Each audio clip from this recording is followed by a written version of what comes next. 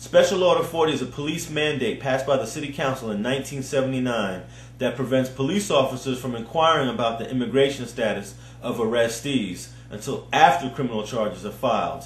Special Order 40 has become a hot topic in political debates about illegal immigration, and it has been recently been linked to gang activity in Los Angeles. But let me be one of the first to tell you Special Order 40 is not connected to gang activity increasing in Los Angeles. There has been no evidence that suggests that Special Order 40 has been linked to increased gang activity or increased gang crime or increased gang murders. In fact, gang crime, gang murders, and gang membership are all down. Yes, they're all down. In the late 1990s, we had 150,000 gang members. Today, we have 80,000 gang members countywide. From 19 from 1987 to 1995, gang crime and gang murders were at a peak. Since 1995, gang-related crime and gang-related murders are down. And in terms of crime in Los Angeles as it relates to gangs, the worst gang crime we see in LA is Crips fighting Crips, Crips fighting Bloods, and Bloods fighting Crips. So all this talk about Hispanics, illegal immigration, Special Order 40, illegal alien gangs is just a bunch of propaganda.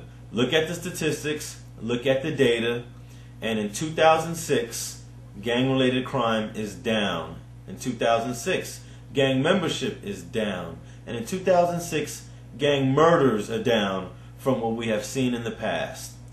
And in terms of Special Order 40, this is what Antonio Villaraigosa had to say about it.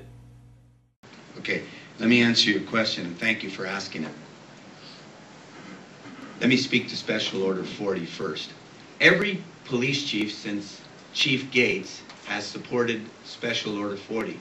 Most of the big city uh, police chiefs across the nation support uh, Special Order 40, and they do because they understand that if people are afraid to go to the police, cooperate with the police, report crimes, uh, be a witness uh, in uh, those situations where crime has occurred, uh, where they don't cooperate, don't participate, crime will go up. Secondly, I didn't make that up, my friend. The, the Constitution of the United States of America says it is a federal responsibility.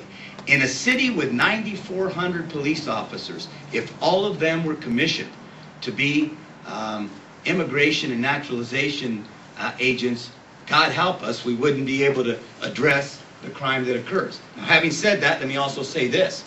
I read in the paper a couple of days ago, if somebody's in jail and they've been identified uh, as uh, here uh, illegally and they've broken the law and they've committed a crime, guess what?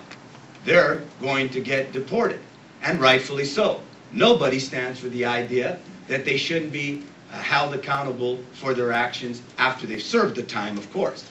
So I feel very strongly uh, that uh, we're doing the right thing uh, in supporting Special Order 40, but I feel as strongly if you break the law, you're here legally, illegally, you're black, white, Latino, or Asian, you're rich or poor, you're a priest, a police officer, or a politician, you're going to be held accountable for breaking the law. But Mayor, but Mayor, you've got the, Mayor, aren't you though walking both sides of the street because you get to tell immigrant residents here that you're not going after them? These guys and women pick them up, right or wrong, innocent or guilty, send them to the the sheriff's jail.